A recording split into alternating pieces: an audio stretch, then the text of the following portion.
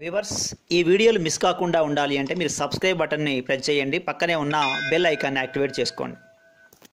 Hi students intermediate first year Telugu medium Telangana state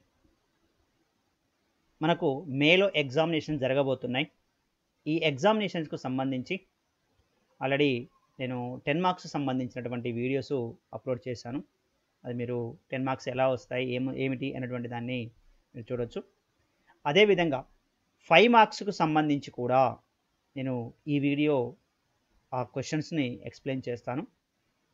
మీరు first year కాబట్టి tenth class నుంచి వస్తారు. మీకు మోడల్ అనేది తెలియదు. ఆల్రెడీ ఒకవేళ మోడల్ కావాలంటే మీకు తెలంగాణ వారికి న్యూ మోడల్ పేపర్ ఎలా ఉంది అనేటువంటిది నేను మా ఛానల్లో కూడా వీడియో పెట్టాను. న్యూ మోడల్ పేపర్ ఎందుకంటే లాస్ట్ ఇయర్ మోడల్ కన్నా ఈ ఇయర్ మోడలు కొన్ని చేంజ్ చేశాడు. అంటే మనం రాసేది అవే కానీ కొన్ని క్వశ్చన్లు చాయిస్ బాగా పెంచాడు. సో అందుకని మీకు ఎగ్జామినేషన్స్లో రేపు యాన్యువల్ ఎగ్జామినేషన్స్లో మూడు సెక్షన్స్ ఉంటాయి. Ten marks section five marks section and two marks section. మూడు సెక్షన్స్ ఉంటాయి. ఈ మూడు సెక్షన్లకు సంబంధించి ten marks questions ten marks ఎన్ని క్వశ్చన్స్ వస్తాయి అనేది నేను వీడియో చేశాను. అది క్లియర్. Next five marks. ఈ వీడియోలో ఫైవ్ మార్క్స్ గురించి మాట్లాడుకుంటే మీకు ఇందులో సిక్స్టీన్ క్వశ్చన్స్ అడుగుతాడు తెలంగాణ వారికి. అంటే చాయిస్ పెరిగింది. ఇంతకుముందు ట్వెల్వ్ అడిగేది ఇప్పుడు సిక్స్టీన్ క్వశ్చన్స్ అడుగుతాడు. మీరు అటెంప్ట్ చేయాల్సింది ఓన్లీ ఎయిట్ క్వశ్చన్స్ మాత్రమే. ఎనిమిది ఇంటూ ఐదు నలభై మార్కులు. కాబట్టి ఈ ఎనిమిది క్వశ్చన్లు ఎనిమిది క్వశ్చన్లు అంటే ఎగ్జామినేషన్ పదహారు క్వశ్చన్లు అడుగుతాడు. ఈ పదహారు క్వశ్చన్లు ఏంటి? ఎందులో నుంచి ఇస్తాడు? ఏ లెసన్స్ నుంచి ఎక్కువ ఇస్తాడు? ఏ లెసన్స్ నుంచి తక్కువ ఇస్తాడు? క్వశ్చన్స్ ఎలా అడుగుతాడు? అనేదే ఈ వీడియో యొక్క పూర్తిగా దాని గురించి డిస్కస్ చేస్తాను నేను. సో జాగ్రత్తగా వీడియో మొత్తం చూడండి. క్వశ్చన్స్ ఎలా అడుగుతాయి? ఎందుకంటే మనకు టెన్ మార్క్స్ చేయడం చాలా ఈజీ ఎందుకంటే ఓన్లీ త్రీ క్వశ్చన్సే ఉంటాయి. కానీ సెకండ్ సెక్షన్లోకి వచ్చేసరికి మనకు ఎయిట్ క్వశ్చన్స్ అటెంప్ట్ చేయాలి. ఇది కొంచెం రిస్క్తో కూడుకున్నటువంటి ఒక పని. సో ఇంకోటి ఏంటంటే ఫస్ట్ సెక్షన్లో అన్నీ మనకు వచ్చినయే ఉంటాయి. సెకండ్ సెక్షన్లోకి వచ్చేసరికి మనకు అన్ని కరెక్ట్గా రావచ్చు రాకపోవచ్చు. కొంచెం టెన్షన్ అవుతుంది. ప్లస్ ఇబ్బందిగా అనిపిస్తుంది. అంటే అన్ని క్వశ్చన్స్ వస్తాయో రావో ఎయిట్ క్వశ్చన్స్ మనం రాయాల్సినవి మనకు వస్తాయో రావో అనే కన్ఫ్యూజన్ ఉంటుంది. అందుకని సెకండ్ సెక్షన్ కనుక బాగా చూసుకోగలిగితే మీరు ఈజీగా మంచి మార్క్స్ లేదా మంచి స్కోరింగ్ చేసుకోవడానికి అవకాశం ఉంటుంది. మెయిన్ కీ ఎక్కువగా కీ సెక్టార్ లేకపోతే కీ పార్ట్ ఏదంటే part B five marks section. అందుకే ఈ ఫైవ్ మార్క్స్ సెక్షన్ ఒక్కటి మనం క్లారిటీ చేసుకుంటే ఈజీగా టూ మార్క్స్ అంటే ఈజీ అవి ఓన్లీ డెఫినేషన్స్ రాసేవి నిర్వచనాలు రాసేవే. టెన్ మార్క్స్ ఈజీ ఒక ప్రాబ్లం ఒక్కటి ఫైవ్ మార్క్సే కాబట్టి ఆ ఫైవ్ మార్క్స్ క్వశ్చన్స్ని ఎలా అడుగుతున్నాడు? ఏ విధంగా అడుగుతున్నాడు? ఏ క్వశ్చన్లు మనం గెస్ట్ చేయవచ్చు ఈ ఫైవ్ మార్క్స్ క్వశ్చన్స్కు అనేది మీరు తెలుసుకుంటే ఆ విషయాన్ని మనకు ఈ వీడియోలో చూస్తే పర్ఫెక్ట్గా మీరు పేపర్ని మొత్తం ఈజీగా సాల్వ్ చేసుకోవడానికి అవకాశం కలుగుతుంది. చూద్దాం మరి ఏ క్వశ్చన్లు ఈ యొక్క ఫైవ్ మార్క్స్ క్వశ్చన్స్ అడుగుతాడు తెలంగాణ రాష్ట్రం వాళ్ళకి ఫస్ట్ ఇయర్ వాళ్ళకి తెలుగు మీడియం అనేది చూద్దాం.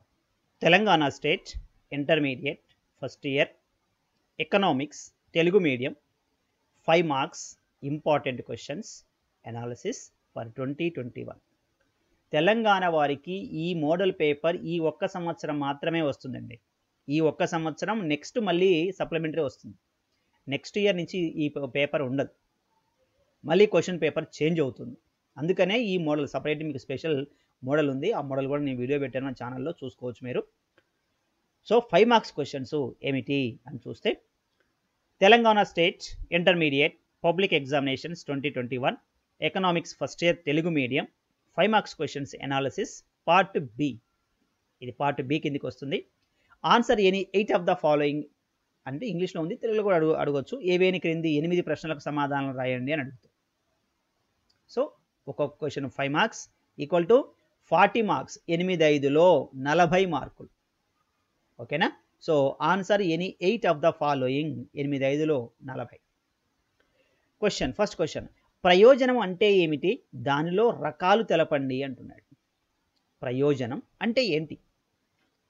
నిర్వచనం రాయాలి. నిర్వచనం రాసి దాంట్లో రకాలు తెలపండి. ప్రయోజనంలో రూప ప్రయోజనము కాల ప్రయోజనము స్థల ప్రయోజనము సేవా ప్రయోజనము అని రకాలు ఉంటాయి. వాటి గురించి ఎక్స్ప్లెయిన్ చేయాలి. ఓకే? కాబట్టి ప్రయోజనం డెఫినేషన్ నిర్వచనం రాయాలి. ప్లస్ దాంట్లో టైప్స్ రకాలు కూడా రాయాలి. ఫస్ట్ క్వశ్చన్ నెక్స్ట్ అదే లెసన్లో నుంచి కోరికల లక్షణాలను వివరించండి. కోరికల లక్షణాలను వివరించండి అని చూడంతా ఇదంతా ఒకటి లెసన్ ఫస్ట్ లెసన్లో నుంచి. ఇది కూడా కోరికల లక్షణాలు ఉన్నాయి ఎంతవరకు అడిగితే అంతవరకు మాత్రమే మీరు ఆన్సర్ చేయాలి.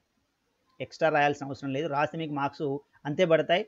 కరెక్ట్ రాసిన అదే పడుతుంది. ఎక్స్ట్రా రాసిన అంతే మార్క్స్ పడతాయి. టైం వేస్ట్ సో కోరికల లక్షణాలను వివరించండి. ఇది ఫస్ట్ లెసన్లో నుంచి మనకు టూ క్వశ్చన్స్ వస్తున్నాయి. చూడండి. ఓకేనా క్లియర్ నెక్స్ట్ మనకు బ్లూ ప్రింట్ కూడా అలాగే ఉంటుంది. చూడండి మీరు ఒకసారి. సెకండ్ లెసన్ ఉదాసీనత వక్రరేఖ భావనను వివరించి దాని లక్షణాలను చర్చించండి. ఉదాసీనత వక్రరేఖ భావన అంటే నిర్వచనం అండి. దాని డెఫినేషన్ రాయాలి. దాని లక్షణాలను చర్చించాలి. ఒక ఫైవ్ పాయింట్స్ ఉన్నాయి. ఆ లక్షణాలను మీరు డిస్కషన్ చేయాలి. సింపుల్ చాలా ఈజీగా మీరు దాన్ని ఎక్స్ప్లెయిన్ చేయొచ్చు. ఉదాసీనత వక్రరేఖ నెక్స్ట్ బడ్జెట్ రేఖ లేదా ధర రేఖను వివరించండి. బడ్జెట్ రేఖ ధర రేఖ నిర్మాణం ఎలా చేస్తారు? ఎలా నిర్మించబడుతుంది అని అడుగుతాడు. సో ఇవి రెండు సెకండ్ లెసన్ నుంచి వచ్చాయండి. ఫస్ట్ లెసన్ నుంచి రెండు క్వశ్చన్లు వచ్చాయి. సెకండ్ లెసన్ నుంచి కూడా రెండు క్వశ్చన్లు వచ్చాయి. జాగ్రత్తగా చూడండి. Next third lesson demand lesson. Demand రేఖ రుణాత్మక వాలుకు గల కారణాలను విపులీకరించండి. సింపుల్. ఓకేనా? డిమాండ్ రేఖ రుణాత్మక వాలు ఎందుకు ఉంటుంది? రుణాత్మక వాలు అంటే ఎడమ నుంచి కుడికి కిందికి వాలుతూ ఉంటుంది. ఎందుకు? కారణాలు ఏంటి అనే క్వశ్చన్ అడుగుతున్నాడు చాలా సింపుల్గా ఉంది ఆన్సరు మీరు రాసేయచ్చు. ఇది డిమాండ్ లెసనే నెక్స్ట్ డిమాండ్ సూత్రాన్ని తెలిపి దాని మినహాయింపులు పరిశీలించండి అన్నాడు డిమాండ్ సూత్రం గురించి రాయాలి. డిమాండ్ సూత్రం ఏం చెప్తుంది? ఏదైనా ఒక వస్తువు యొక్క ధర పెరిగితే ఆ వస్తువు యొక్క డిమాండ్ తగ్గుతుంది. ఏ వస్తువు యొక్క డిమాండ్ ధర తగ్గితే పెరిగితే ఆ వస్తువు యొక్క డిమాండ్ తగ్గుతుంది పెరుగుతుంది. ఇది సూత్రము అంటాం. అంటే ధరను బట్టి డిమాండ్లో మార్పులు వస్తాయి. మినహాయింపులు ఏమిటి డిమాండ్ సూత్రానికి ఇది పనికిరావు. ఏంటండి గిఫెన్ వస్తువులు కావచ్చు గౌరవ సూచక వస్తువులు కావచ్చు అనా తర్వాత అంచనా వ్యాపారం కావచ్చు ఇవన్నీ పాయింట్స్ ఉన్నాయి. ఇవన్నీ మీరు ఎక్స్ప్లెయిన్ చేయాలి. ఓకే? సింపుల్ క్వశ్చన్ ఇది ఒక్కొక్కసారి టెన్ మార్క్స్ క్వశ్చన్ కూడా అడిగాడు. సో ఫైవ్ మార్క్స్లో దీన్ని మీకు ఇచ్చాను. ప్రాక్టీస్ చేసుకోండి. సో ఇవి రెండు డిమాండ్ లెసన్ అండి థర్డ్ లెసన్. ఓకేనా? డిమాండ్ రేఖ రుణాత్మక వాలు గల కారణాలు డిమాండ్ సూత్రాన్ని తెలిపి దాని మినహాయింపులు పరిశీలించండి. డిమాండ్లో ఉన్న క్వశ్చన్లు మూడే మూడు క్వశ్చన్ ఒకటి డిమాండ్ రేఖ రుణాత్మక వాలు డిమాండ్ సూత్రం దాని మినహాయింపులు. తర్వాత డిమాండ్ నిర్ణయించే కారకాలు. అది టెన్ మార్క్స్లో ఇచ్చాను. సో ఇక్కడ మిగిలింది మనకు రెండు అక్కడ ఒకటి మూడు. Close demand lesson. వేరే ఏం అవసరం లేదు. Right next. ఉత్పత్తి పాఠంలో అంతర్గత ఆదాలు అంటే ఏంటి? అంతర్గత ఆదాలు అంటే ఏమిటంటే ఇక్కడ నిర్వచనం ఒకటే రాయద్దు. అంతర్గత ఆదాలు అంటే ఏమిటి? అంతర్గత ఆదాలు రావడానికి గల కారణాలు కూడా రాయాలి ఇందులో.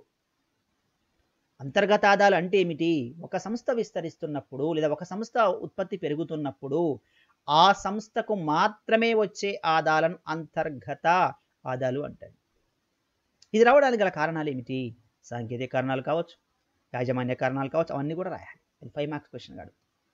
క్వశ్చన్ మాత్రం సింపుల్గా అనిపిస్తుంది నిర్వచనం లెక్క అనిపిస్తుంది కానీ అది మొత్తం రాయాల్సిందే మీరు. అంతర్గత ఆదాలకు డెఫినేషన్ ఒకటి నిర్వచనం ఒకటి అది రావడానికి కారణాలు. ఓకే? ఈ క్వశ్చన్ నెక్స్ట్ అందులో ఒకటే క్వశ్చన్ వచ్చింది చూడండి. సంపూర్ణ పోటీని ఏకస్వామ్యాన్ని పోల్చండి. సంపూర్ణ పోటీ ఏకస్వామ్యం మధ్య తేడా ఏంటి? ఏ లక్షణాలు అను వా దానికి దీనికి మధ్య తేడాను మనం వివరించవచ్చు అనేది సంపూర్ణ పోటీ ఏకస్వామ్యాన్ని పోల్చండి అంటున్నాడు. సో మార్కెట్లో ఒకటే ఒక క్వశ్చన్ మెయిన్గా వచ్చే పేపర్ వచ్చే పేపర్ అంటే ఎన్ని క్వశ్చన్లు వచ్చే వస్తాయో అన్ని క్వశ్చన్లే పెట్టాను. సిక్స్టీన్ క్వశ్చన్స్ కదా సో సిక్స్టీన్ క్వశ్చన్సే పెట్టాను. అందుకని జాగ్రత్తగా చదువుకోండి. సంపూర్ణ పోటీ ఏకస్వామ్యం మధ్య తేడా ఏంటో రాయాలి. ఓకే? ఇది మార్కెట్లో ఒకటే ఒక క్వశ్చన్. నెక్స్ట్ నిజ వేతనాన్ని నిర్ణయించే అంశాలు ఏమిటి? నిజ వేతనం ద్రవ్య వేతనము నిజ వేతనం అని ఉంటుంది. వేతనంలో రకాలు రకాలలో ద్రవ్యవేతనం నిజవేతనం. ద్రవ్యవేతనానికి నిజవేతనానికి ద్రవ్య ఏంటి తేడా? అది అవసరం లేదు మనకు. ఇక్కడ ఏం రాయాలి? నిజ వేతనాన్ని నిర్ణయించే అంశాలు ఏంటి? నిజవేతనం ఎప్పుడు పెరుగుతుంది? ఎప్పుడు తగ్గుతుంది? చాలా గన్ షాట్ క్వశ్చన్ చాలాసార్లు ఎగ్జామినేషన్లో అడిగాడు. మళ్ళీసారి కూడా అడిగే ఛాన్సెస్ ఎక్కువగా ఉన్నాయి. నిజవేతనాన్ని నిర్ణయించే అంశాలు ఏమిటి అది అయిపోయింది. ఒకటే క్వశ్చన్ నెక్స్ట్ జాతీయ ఆదాయం చూడండి. జాతీయ ఆదాయాన్ని నిర్ణయించే అంశాలు వివరించండి. ఎస్ చాలా ఇంపార్టెంట్ క్వశ్చన్ జాతీయ ఆదాయంలో వచ్చే క్వశ్చన్ ఇదే. జాతీయ ఆదాయం మదింపు పద్ధతిలో టెన్ మార్క్స్లు అడుగుతాడు? జాతీయ ఆదాయం నిర్ణయించే అంశాలు ఫైవ్ మార్క్స్లో క్లియర్ కాబట్టి జాతీయ ఆదాయాన్ని నిర్ణయించే అంశాలను వివరించండి. నెక్స్ట్ ప్రభుత్వ రాబడి మార్గాలను ఏవి? ప్రభుత్వ రాబడి మార్గాలు ఏవి? ఏమిటి అని అన్నప్పుడు ప్రభుత్వానికి ఆదాయం ఎలా వస్తుంది? ఆ ప్రభుత్వ రాబడి మార్గాలను అడుగుతున్నాడు ఇది కూడా చాలా ఇంపార్టెంట్ క్వశ్చన్. ఇది కూడా మనకు ఆ, లెసన్లో నుంచి. నెక్స్ట్ అంటే ఇది జాతీయ ఆదాయం ఇది నెక్స్ట్ లెసన్ అనమాట ఎయిత్ లెసన్. జాతీయ ఆదాయం సెవెంత్ లెసన్. ప్రభుత్వ రుణ విమోచన పద్ధతులను పేర్కొనండి. ప్రభుత్వం అప్పు తెస్తుందండి. రుణం అంటే అప్పు తెస్తుంది. అది ఎలా తీర్చుతుంది రుణ విమోచన పద్ధతులు పేర్కొనండి. ఎలా తీరుస్తుంది? ఆ తీర్చే పద్ధతులు ఏమిటి అని అడుగుతున్నారు. ఓకే? ఇది కూడా ఇంపార్టెంట్ క్వశ్చన్. సో ఇంకొకటి ప్రభుత్వ వ్యయ అంశాలు కూడా ఉంది క్వశ్చన్ అది కూడా మీరు చదవచ్చు. ప్రభుత్వ వ్యయ అంశాలు అంటే ప్రభుత్వానికి వచ్చిన రాబడిలో నుంచి దేనికోసం ఖర్చు చేస్తుంది? ప్రభుత్వం చేసే ఖర్చు ఏంటి? ఎందుకోసం చేస్తుంది? ఎవరి కోసం చేస్తుంది? అది ప్రభుత్వ వ్యయ అంశాలు అంట. ఓకే? సో నెక్స్ట్ ద్రవ్యం యొక్క ప్రాథమిక ద్వితీయ విధులను వివరించండి. క్వశ్చన్ ఇలా ఉంది మీకు ఇలాగ అడగొచ్చు లేదా ద్రవ్యం విధులు అని అడగొచ్చు. క్వశ్చన్ ఎలా అడిగితే మీరు మనం అలా రాయాలి. ద్రవ్యం ప్రాథమిక విధులు ద్వితీయ విధులని అడిగాడు. ఇంకా అనుషంగిక విధులు ఉంటాయి. అవి అవసరం లేదు అని రెండు అడిగాడు. రెండు అడగొచ్చు. లేదు మనకు ద్రవ్యం యొక్క విధులను వివరించండి అనొచ్చు. అన్నప్పుడు మొత్తం రాయాలి. ఓన్లీ రెండు అడిగినప్పుడు మాత్రమే రెండు ప్రాథమిక అడిగాడు ద్వితీయ అడిగాడు రెండే రాయాలి. వేరే దాని జోలికి వెళ్ళదు ఓకేనా? సో థర్టీన్త్ క్వశ్చన్ ఇది. ఇది ద్రవ్యం పాఠంలో నుంచి. Next fourteenth. వాణిజ్య బ్యాంకులు సేకరించే వివిధ రకాల డిపాజిట్లను వివరించండి. వాణిజ్య బ్యాంకులకు డబ్బులు ఎక్కడి నుంచి వస్తాయి? ఎలా డిపాజిట్లను స్వీకరిస్తాయి? ఆ స్వీకరించే డిపాజిట్లు ఏమిటి? ఎన్ని రకాలుగా ఉంటాయి? ఓకే? అదేవిధంగా రుణాలు కూడా ఉంటాయి. కూడా ఇంపార్టెంట్ క్వశ్చనే. ఏ విధమైనటువంటి రుణాల అడ్వాన్స్ రుణాలు ఇస్తాయి అనేది కూడా ఇంపార్టెంటే. సో ఇది కొంచెం ఎక్కువ అడుగుతారు కాబట్టి వాణిజ్య బ్యాంకులు సేకరించే వివిధ రకాల డిపాజిట్లను వివరించండి. క్వశ్చన్ బాగా జాగ్రత్తగా చదువుకోండి. నెక్స్ట్ ఇక టెన్త్ లెసన్లో నుంచి గణాంక శాస్త్రం అంటే ఏంటి? నిర్వచనం రాయాలి. గణాంక శాస్త్రంతో దానికి గల సంబంధాన్ని వివరించండి. గణాంక శాస్త్రం అంటే ఏంటి? అవునా? మరి గణాంక శాస్త్రంతో మన అర్థశాస్త్రానికి ఏం పని? సంబంధం ఏంటి? ఎందుకు మనం అర్థశాస్త్రం చదివే వాళ్ళను గణాంక శాస్త్రం చదవాలి? గణాంక శాస్త్రంతో మనకేంటి సంబంధం? మనకంటే అర్థశాస్త్రం వాళ్ళకు. సో అర్థశాస్త్రంతో దానికి గల సంబంధాన్ని వివరించండి. నెక్స్ట్ ఆదర్శ లేదా మంచి సగటుకు ఉండవలసిన లక్షణాలను తెలపండి. చూడండి. సిక్స్టీనే వస్తాయి మీకు సిక్స్టీనే ఇచ్చాను ఇంకా ఎక్స్ట్రా కూడా ఇవ్వలే. ఓకే? సో ఈ విధంగా మీకు రేపు యాన్యువల్లో తెలంగాణ వారికి సిక్స్టీన్ క్వశ్చన్స్ ఎగ్జామినేషన్లో వస్తాయి. మీరు ఎగ్జామ్లో రాయాల్సిన ఓన్లీ ఎయిట్ క్వశ్చన్స్ మాత్రమే ఎగ్జామ్లో రాయాలి. ఓకేనా? సో మళ్ళీ ఒకసారి చూడండి తెలంగాణ స్టేట్ వారికి. సో ఇవి క్వశ్చన్స్. ఇందులో మీరు రాయాల్సిన ఓన్లీ ఎయిట్ క్వశ్చన్స్ మాత్రమే ఫోర్ ఫైవ్ నుంచి ఫోర్టీన్త్ నెక్స్ట్ ఫిఫ్టీన్త్ నుంచి సిక్స్టీన్త్. ఓకే? సో టెన్షన్ పడాల్సింది ఏమీ లేదు. ఎలా రాయాలి? ఏ విధంగా రాయాలి? అనేది మన ఛానల్లో వీడియోస్ ఉన్నాయి. తొంభై తొమ్మిది మార్కులు పొందడం ఎలా అనే వీడియోస్ కూడా ఉన్నాయి. మీరు చూడొచ్చు. దాంతో మీరు మార్క్స్ ఎక్కువ పొందడానికి మీకు అవకాశం కలుగుతుంది. ఓకేనా? సో ఇది మీరు రేపు మేలో జరగబోయేటటువంటి ఒక intermediate first year Telugu medium వాళ్ళు గెస్ చేసుకోవాల్సినటువంటి ఒక గెస్ దాదాపు మ్యాక్సిమం అవే క్వశ్చన్లు ఇచ్చాను నేను. అవే అంటే ఓన్లీ సిక్స్టీనే ఇచ్చాను ఎక్స్ట్రా కూడా ఇవ్వలేదు ఓకే సో ఇవి క్వశ్చన్లు అన్నీ వస్తాయి ఎగ్జామినేషన్లో ఓకేనా సో స్టూడెంట్స్ ఇది మీకు ఫస్ట్ ఇయర్ తెలుగు మీడియం యొక్క five marks questions analysis so students ఈ వీడియో నచ్చితే లైక్ చేయండి. మీ ఫ్రెండ్స్ ఉంటే షేర్ చేయండి. కొత్తగా చూసినట్లయితే ఛానల్ సబ్స్క్రైబ్ చేయండి. Thank you thank you very much